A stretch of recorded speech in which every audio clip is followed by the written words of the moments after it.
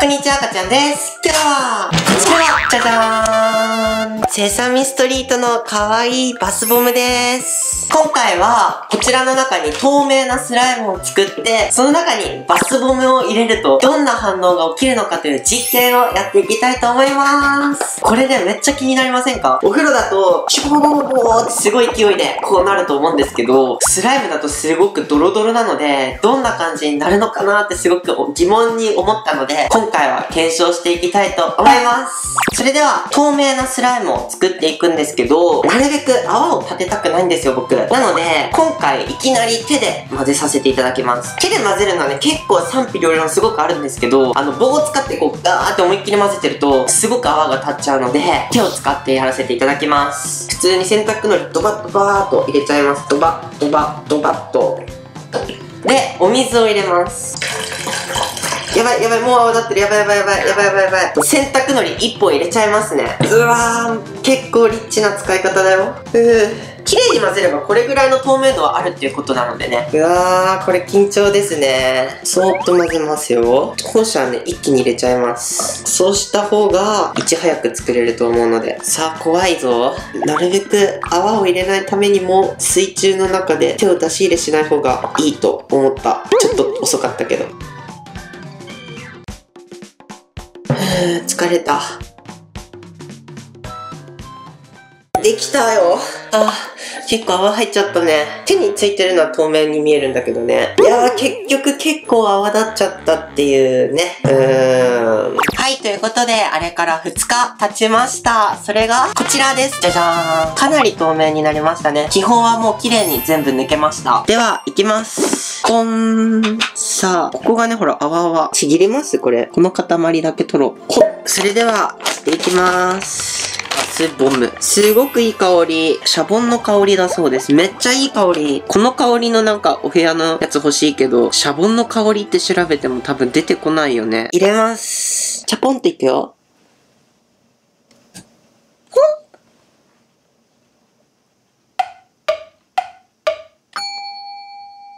あれ？変化起きない。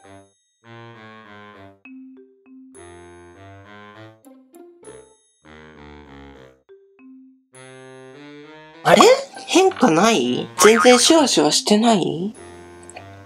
押し込んでみます。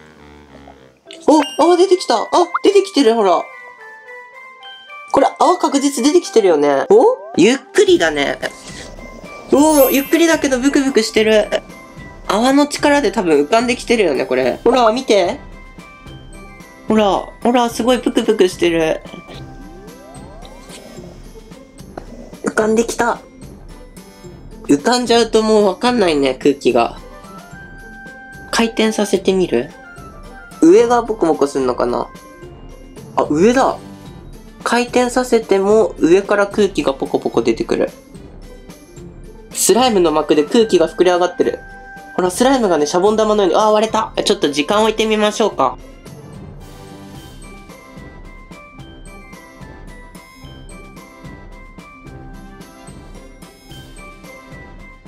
変化がありませんね。押し込んどこうか。このペースだとね、全然変化はないと思うので、ちょっと切ってみます。バスボム、柔らかい。見て、切れたよ。は、赤。さあ、どうだ？勢いそこまで変わんないね。まあ、多少は速くなってるけど、ふわーってやつ想像してたんだけど、切っちゃったせいで中身がね、バレちゃったっていうね。ほら。エルモかクッキーモンスター欲しかったなうわぐわぐわぐわうーん。あ、見て上。スライムバブルできてる。こっちのが面白い。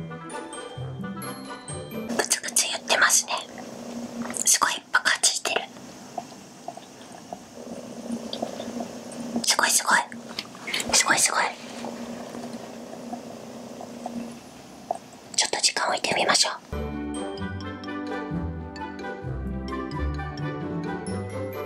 うわー、すごいことになってる。なんか雲みたい。ちょっと触ってみましょう。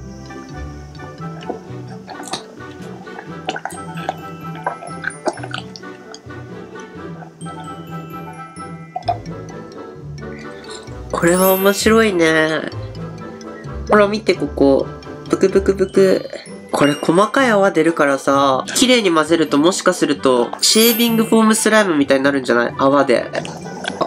細かい泡が出てるからさ、なりそうじゃない？もこもこシェービングフォームスライムみたいな感じ。おーすごい、すごいすごい。ええ、すごいんだけど、全然手にくっつかなくなった。え？何これ？なんかその辺もシェービングフォームスライムに似てるね。なんかね、すごい変わったものが出てきた。ほら、これ。なんだろう、これ。硬い皮みたいになってる、ここ。これ何？すごいんだけど。え？ほら、すごい硬い。これ、不思議な感じ。何これ？え？え？何これ？なんか、ほら、テーブルの上出してみますか。ほ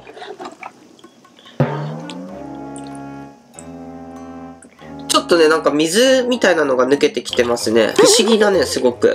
面白いことになってます。余計な水分が抜けた感じかな。これは何？すごく水分が抜けてる。でもまだこのスライム感はありますよね。このなんか皮みたいなのがすごいね、これ。なんでここだけこんな綺麗に混ざん、何これ？え？すごく不思議これ。固まってるんだよね、なんか。カチカチに。水分も抜けたし、シェービングフォームのような感じの泡とはやっぱまた全然違いますね。すごくないこれ？水浸しだよ。ちょっと一回水拭きますか。机とか手をね、拭いて、スライムを触って。なんか不思議な、え？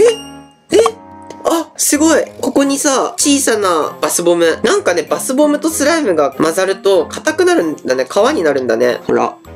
袋みたいになってるでしょ？この中にバスボムが入ってて、そのバスボムが触れたスライムが硬くなって、でもバスボムの勢いで空気がずっと出続けてて、爆発する卵みたいなのができた。なんか、いろいろと不思議だね。すごいね、これ。水がどんどん抜け続ける。小学6年生の時に、担任の先生が理科の先生で、門前スライムっていうのを作ったんですよ。担任の先生が理科の授業の時にスライムを作ってる時に、お友達の門前くんっていう子が、スライムの中に理科室にあったなんか違うものを混ぜたらしいんですよ。そうすると、スライムの水分が抜け続けて、で、そのスライムがになったんですよね。それが門前スライムっていうので、最初はスライムとして遊べて、時間が経つと、になるっていう。で、それを僕が小学6年生の時に作ったんですよね。最近になってまたね、よく動画とかでスライムを作り始めてて、門前スライム作りたいなと思ってたんですよね。で、門前スライムってネットで検索しても、もちろん出てこなくて、その理科の担任の先生と連絡が取れればいいんだけど、先生とも連絡が取れず、結局何を混ぜたのか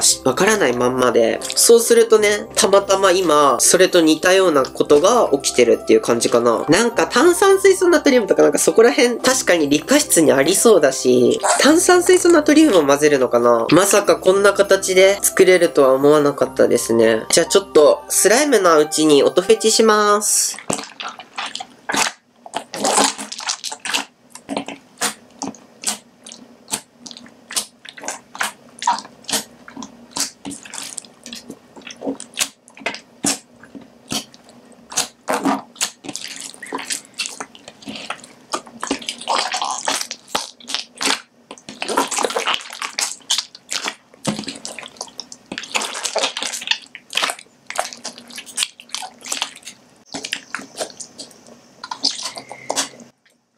ただ、爆発した。は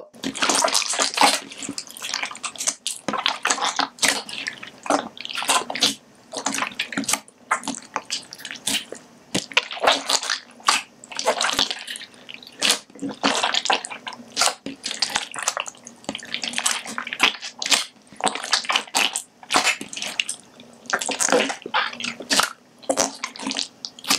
ということで、今回こちら作りました。そしてね、今水がね、どんどん抜け続けてるこのスライム。この後にどうなってしまったかっていうのとか、なんでこういう風になったのかとか、ちょっとね、いろいろ分かってきたことがあるので、それについては、次回動画にしたいと思います。ほら、見て、すごい垂れてるんだよね。どんどん水が抜け続けてます。そしてね、さっき最初の方にあった皮がね、なんか、あれ硬いの何？って言ってたじゃん。あれがね、ちょっとなくなっちゃったんですよね。ちょっとですね、めちゃくちゃ面白いスライムができちゃったので、それについては次回紹介したいと思います。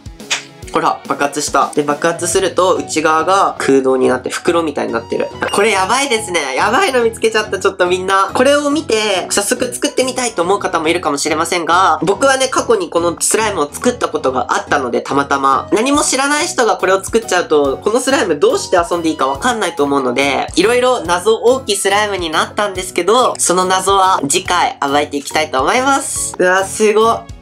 最後までご視聴ありがとうございました。バイバーイ。